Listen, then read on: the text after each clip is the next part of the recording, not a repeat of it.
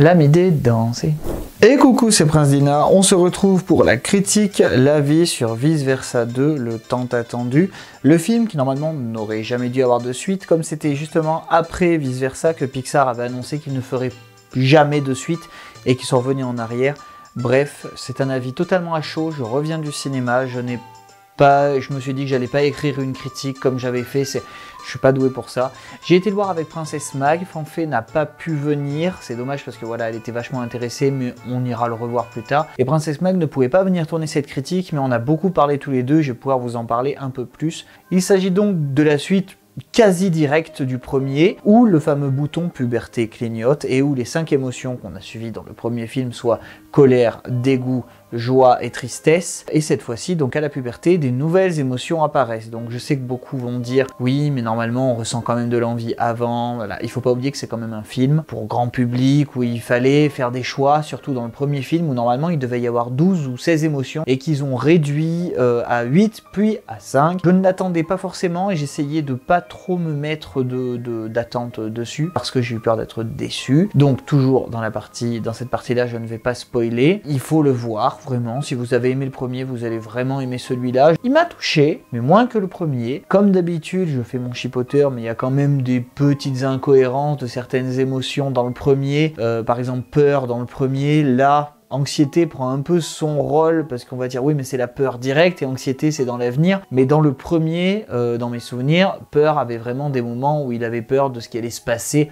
Bref, mais bon ça c'est des petits détails. Le film est vraiment à voir. J'ai pas les choses que je pourrais vous dire en plus vous spoileront, du coup je vais être obligé de vite passer en section spoil, c'est que oui, il est très intelligent. Je, on dit que c'est tout public, un enfant va avoir des petites va avoir des personnages rigolos, colorés qui vont faire des petites blagues, etc. C'est vraiment plus poussé que ça, je pense que dans l'adolescence ou quand vous êtes adulte, c'est là où vous comprenez vraiment parce qu'il y a plein de logique à des choses où on se dit ah c'est un enchaînement rigolo, mais non c'est très logique. La puberté est accélérée, bon elle n'est pas finie à la fin du film, il est règle tous ses problèmes en un week-end, en gros. Enfin toute toute tout est réglé en un week-end. Donc l'antagoniste, c'est vraiment anxiété du coup, qui est vraiment mis en avant, qui remplace tristesse, parce que normalement c'est joie et tristesse, les autres sont un peu sur le côté, ils sont là mais sur le côté. Et là du coup c'est anxiété et joie en priorité. Tristesse est assez vite écartée, elle fait un truc dans son coin, mais il faut laisser de la place, ils sont 8 maintenant. Et d'ailleurs, euh, envie, ennui, embarras, vont être vraiment de côté. Hein. C'est vraiment Anxiété qui va vraiment être là. Les autres vont tous appuyer une ou deux fois. Il y aura des petites vannes rigolotes. Sans compter un personnage, mais j'en parlerai plus en spoil parce que c'est un petit running gag rigolo. Et voilà, du coup, Anxiété va être l'antagoniste, pas le méchant, l'antagoniste. Comme la Reine des Neiges, Elsa, je vous ai dit, ce n'est pas la méchante, mais c'est l'antagoniste du film. C'est à cause de ce personnage que le problème arrive. Et là, du coup, c'est Anxiété.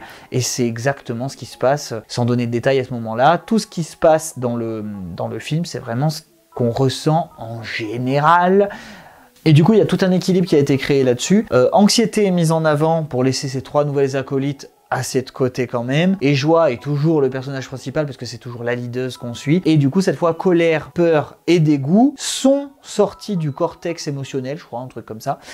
et du coup, sont avec euh, joie et tristesse. Mais comme je vous dis, c'est pas vraiment du spoil. Tristesse est un peu écartée. Elle est là, mais elle est un peu écartée pour laisser un peu briller les autres. Et il y a plein de très très bonnes idées que je peux pas parler là parce que, oh là là, avec Princesse, qu'est-ce qu'on a rigolé. Mais voilà, j'étais très content de le voir. Encore une fois, il est impressionnant à voir au cinéma parce qu'il y a vraiment beaucoup de choses qui se passent il y a, des choses qu'on aurait pu prévoir, il y a des choses où on se dit oui, bon, faut pas oublier que c'est un film. On va passer maintenant en section spoil, donc soit vous l'avez vu, soit vous en avez rien à faire parce qu'il y a plein de choses à dire. Les personnages, j'ai oublié leur nom, mais euh, le personnage qui a la banane à outils là, parodie de Mickey et de Dora, où est-ce que vous voyez la clé? Mais c'est génial. Enfin, vous allez dire c'est pas innovant, mais c'était trop marrant de voir ça là. En plus, en 2D. Et après le personnage samouraï à côté qui est lui dans, une espèce de 3D de de style Nintendo 64, enfin c'est excellent quoi, vraiment trop marrant. Donc là ce que je peux vraiment spoiler c'est que oui l'anxiété passe même devant toutes les autres émotions, Riley euh, frise la crise d'angoisse ou même elle en a une d'ailleurs, on tombe pas forcément dans les pommes à chaque crise d'angoisse mais bon elle l'a vraiment parce que l'anxiété ne se contrôle pas. Et il y a quelque chose que j'avais fait remarquer dans le premier film, euh, le fait est que bah oui mais on n'est pas que nos émotions, et ben dans celui-là, je sais pas si on peut dire que c'est une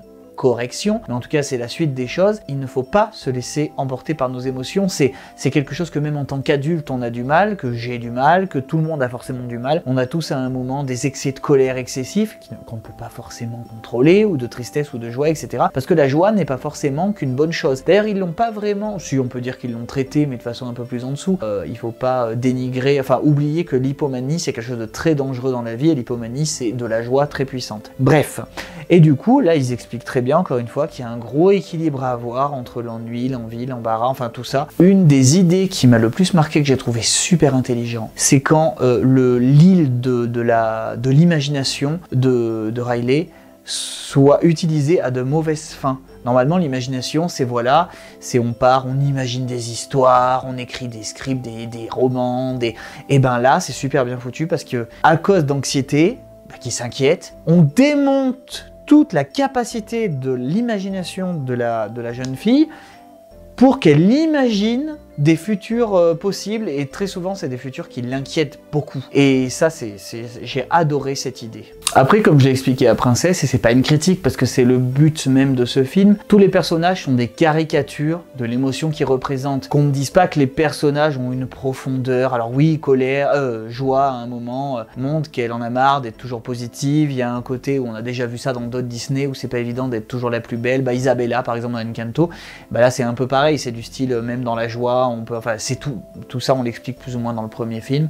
Mais et donc, ce que je peux dire là, et ce que je pouvais pas dire en spoil, c'est qu'il y a une émotion qu'on voit qui sort de temps en temps, c'est la nostalgie, qui est, euh, bah, c'est rigolote, elle vient, ah oui, mais ça me rappelle quand... Euh. Ce qui est marrant, c'est que les premières émotions ne connaissaient pas l'existence d'autres émotions, et quand les nouvelles arrivent, et eh ben, c'est comme s'il y avait d'autres émotions qu'on découvrira plus tard, et ils ont bien corrigé le truc par rapport au fait que dans le premier film, on voyait pas certaines émotions, parce que les cinq émotions principales, un peu comme les couleurs complémentaires quelque part, et eh ben c'est colère, peur, joie, tristesse et dégoût. Et euh, toutes les autres, elles sont un peu sur le côté, elles reviennent de temps en temps, parce que quand on grandit, on réussit à se contrôler, à contrôler nos émotions.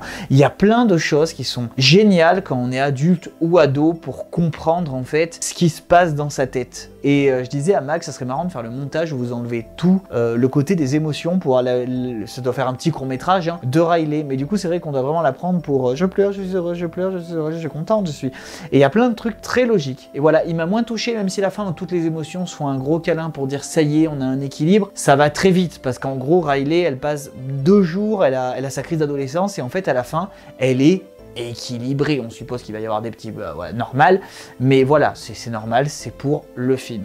Et enfin, ce que je voulais dire, c'était par rapport à Mag. Mag est à peu près d'accord avec moi au niveau de tout, mais elle a même dit que ça pouvait l'inspirer, euh, ça peut inspirer des gens dans leur vie de tous les jours, en fait, de se dire de bien, de pas se laisser euh, avoir par ses émotions et que les émotions qu'on croit négatives ne sont pas forcément mauvaises. C'est vrai que c'est un, film qui, parle plus, je pense, à un public adulte. Beaucoup de films pour enfants, pour enfants, je mets des guillemets parce que voilà, c'est pour tout public, mais forcément, je peux vous jurer que je connais des gens euh, de 30 ans, 60 ans qui seront beaucoup moins intéressés par les films tout public, parce que ben quoi qu'il arrive, il faut qu'il y ait un enrobage un peu plus bonbon, etc. Et ben celui-là a réussi à avoir un enrobage bonbon, mais un intérieur tellement tranquille, on fait les griffes, je vous jure, faites des chattes. Et donc voilà pourquoi c'est vachement euh, intéressant là-dessus. Donc voilà, si j'ai oublié de dire des choses, je les préciserai sûrement, parce que là c'est vraiment à chaud à chaud. Je penserai sûrement à d'autres choses, donc soit j'en débattrai avec vous en commentaire, dans ce cas, n'hésitez surtout pas. J'essaierai de vous répondre à tous. Et on se retrouve bientôt pour le prochain film de Disney, pour un avis sûrement. Mais je ne sais pas lequel c'est. Il y en a peut-être un avant Vaiana 2 quand même, sinon ça fait loin. On verra bien. Gros bisous